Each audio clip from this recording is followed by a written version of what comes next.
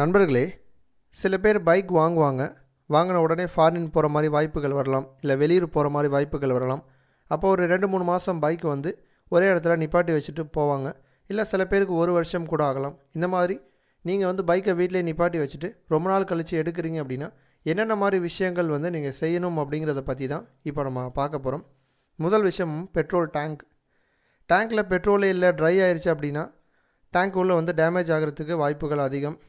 அதனால் வந்து பெட்ரோல் இருக்கலாம் டேங்க்கில் அப்படி பெட்ரோல் வைக்கும் பொழுது ரொம்ப நாள் எடுக்கலை அப்படின்னா பெட்ரோல் வந்து ஆவியாகிறதுக்கும் வாய்ப்புகள் வந்து அதிகமாக இருக்குது பெட்ரோலே வச்சுட்டு போகலாம் அப்படி இல்லை இன்னும் பெஸ்ட் அப்படின்னு கேட்டோன்னா மண்ணெண்ணெயை ஊற்றி வச்சுட்டு போகலாம் மண்ணெண்ணெய் வந்து ஆவியும் ஆகாது மற்றபடி பெட்ரோல் டேங்க்குள்ளே வந்து துரு பிடிக்காது. இந்த மாதிரி வந்து பிரச்சனைகள் வந்து வராது. மண்ணெண்ணெய் வந்து பெஸ்ட்டானதாக இருக்கும்.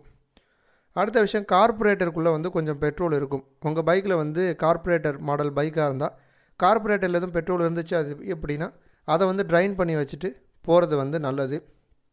அடுத்த விஷயம் பேட்ரி பேட்ரி வந்து நம்ம எதுவுமே பண்ண முடியாது. ஒன் இயர் வந்து ஒரு பேட்ரி வந்து யூஸ் பண்ணவே இல்லை அப்படிங்கிற பட்சத்தில் பேட்ரி வந்து கண்டிப்பாக வந்து சார்ஜ் வந்து போயிடும் உங்களுடைய பைக்கில் இருக்கக்கூடிய பேட்ரி ரீசார்ஜ் பண்ணுற டைப்பாக இருந்தால் நீங்கள் ஊர்லேருந்து திரும்பி வந்து பேட்ரி வந்து சார்ஜ் பண்ணி அகைன் வந்து யூஸ் பண்ணிக்கலாம்.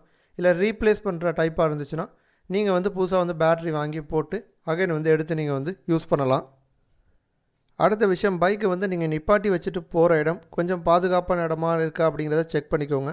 சில பேர்லாம் ஏதோ ஒரு ஸ்டோர் ரூம் மாதிரி இருக்க ரூமில் யாருமே யூஸ் பண்ணாத ஒரு ரூம்குள்ளே பைக்கை நிப்பாட்டி வச்சுட்டு போயிடுவாங்க அந்த மாதிரி வச்சுட்டு போகும்பொழுது எதுவும் பறவைகள் வந்து கூடு கட்டுறதுக்கோ இல்லை அணில் வந்து கூடு கட்டுறது இந்த மாதிரி விஷயங்களும் நடக்கிறதுக்கு வாய்ப்புகள் வந்து அதிகமாக இருக்குது அடுத்ததாக பைக்கை வந்து சைட் ஸ்டாண்ட் போட்டு போகாதீங்க. சென்ட்ரு ஸ்டாண்ட் போட்டுட்டு ஏதாச்சும் ஒரு கவர் வச்சு பைக்கை வந்து மூடிட்டு வந்து போங்க. மழை தண்ணியோ இந்த மாதிரி எதுவும் வந்து பைக்கில் வந்து படாத இடமாவும் பார்த்து பைக்கை வந்து பார்க் பண்ணிட்டு போங்க.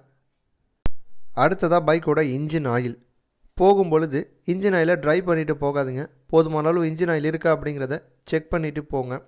அடுத்த விஷயம் பார்த்தோன்னா வெளியூர் போயிட்டு திரும்ப வந்து பைக்கை நீங்கள் எடுக்கும் பொழுது சில விஷயங்களை செக் பண்ணிவிட்டு எடுங்க. முதல் விஷயம் பார்த்தோம் அப்படின்னா டயர் ப்ரெஷர் கரெக்டாக இருக்கா அப்படின்னு பார்த்துக்கோங்க. பிரேக் கரெக்டாக பிடிக்குதா அப்படின்னு பார்த்துக்கோங்க. வெளியூர் போயிட்டு வந்து திரும்ப பைக்கை எடுக்கும் பொழுது கிக் ஸ்டார்ட் பண்ணி பைக்கை ஸ்டார்ட் பண்ணுங்கள் ஸ்டார்ட் பண்ணி ஒரு பத்துலேருந்து பதினஞ்சு நிமிஷம் வந்து ஐடியல்லே வந்து பைக்கை வந்து ஓட விடுங்க. அடுத்ததாக டேங்க்கில் பார்த்தீங்க அப்படின்னா மண்ணெண்ணெய் ஊற்றிட்டு போகிறீங்க அப்படின்னா திரும்ப வந்து அதை ஃபுல்லாக ட்ரைன் பண்ணிவிட்டு திரும்ப வந்து ஒரு கால் லிட்டர் அளவுக்கு வந்து பெட்ரோலை ஊற்றுங்க பெட்ரோலை ஊற்றி அதையும் ட்ரைன் பண்ணிட்டு அதன் பிறகு வந்து பெட்ரோலை போட்டு பைக்கை வந்து ஸ்டார்ட் பண்ணி ஓட்டுங்க. அடுத்ததாக பைக்கோட இன்ஜின் ஆயிலை பொறுத்த வரைக்கும் ஒரு ஆறு மாதமோ இல்லை ஒரு வருஷமோ இன்ஜின் ஆயிலை நீங்கள் யூஸ் பண்ணவே இல்லை அப்படின்னாலும் அதிகபட்சம் அதோட ப்ராப்பர்ட்டியில் அதிகபட்சம் சேஞ்ச் ஆகாது. இருந்தாலுமே லாங் கேப்பை விட்டு பைக்கை நீங்கள் எடுக்க போகும்பொழுது இன்ஜின் ஆயில் புதுசாக மாற்றிட்டு எடுக்கிறதும் நல்லது தான் அதே மாதிரி பைக்கோட செயின் பார்த்தோம் அப்படின்னா ரொம்ப நாள் யூஸ் பண்ணாததுனால துருப்பிடிச்சு போகலாம் இல்லை ரொம்பவே ட்ரையாக இருக்கலாம்.